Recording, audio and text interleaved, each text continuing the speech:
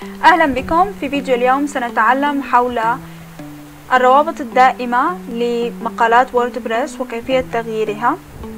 فعند التصفح أي مقالة أو أي منشور منشورات موقعك سيظهر رابط هذا المنشور في شريط العنوان بقسم أول وهو رابط موقعك الأساسي ورابط أو قسم متعلق برابط هذا المنشور.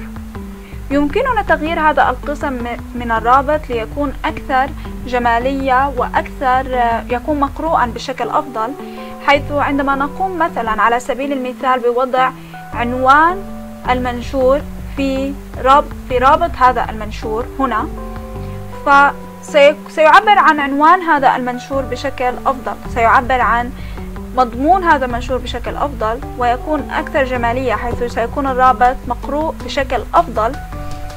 عندما نضع عنوان هذا المنشور في رابطه بدلا من مجرد رقم عادي. كيف يمكننا القيام بذلك؟ سنذهب إلى الصفحة الرئيسية. نختار إعدادات من القائمة الجانبية وروابط دائمة. كما تلاحظون تم تحديد عادي بشكل تلقائي وظهر رابط المنشور بهذا الشكل. هو عبارة عن هذا القسم الذي يحتوي رقم. هنالك خيارات أخرى يمكننا تحديد اليوم الذي نشر به المنشور وعنوانه أو الشهر الذي نشر فيه المنشور وعنوانه.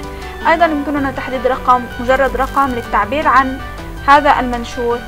أيضا يمكننا تحديد فقط رابط عنوان عفوا أن نقوم بإدراج عنوان المقالة في رابط المنشور. فسأقوم بتحديد عنوان المقالة. ومن ثم سأقوم بالنقر على حفظ التغييرات. سأذهب إلى الصفحة الرئيسية. سأقوم بالتحديث. سنلاحظ تغير رابط المنشور حيث الآن أصبح عبارة عن عنوان هذا المنشور. عنوان هذا المنشور. ها هو سيعرفك الطريق بنفسه عندما تسيره وهو أيضا مدرج هنا. أيضا يمكن إضافة تركيبة مخصصة للرابط الدائم. مثلا سأقوم بإضافة تركيبة مخصصة هنا وهي عبارة عن العام الذي نشر فيه المنشور التصنيف الذي يندرج تحته وعنوان عنوانه. فسأقوم بالنقر على حفظ التغييرات.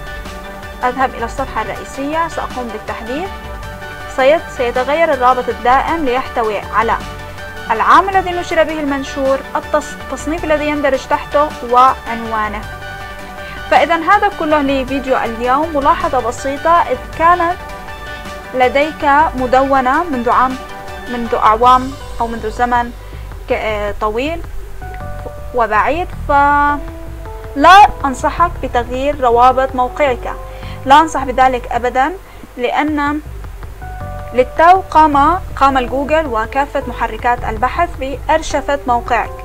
فعندما تقوم بتغيير الروابط موقعك فعندما يحاول مثلا الجوجل ب بالاقتراح اقتراح عناوين مقالات مقالاتك للناس فسيدرج معها روابط المقالات القديمة أو الروابط القديمة للمقالات.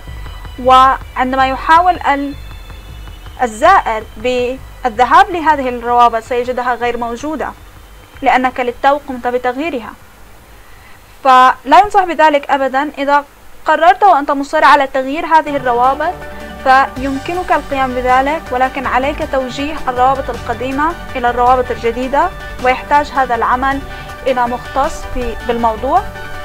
أما إذا كانت مدونتك حديثة قمت بإنشائها منذ شهر مثلا وتريد تغيير الروابط لا بأس قم بتغيير الروابط و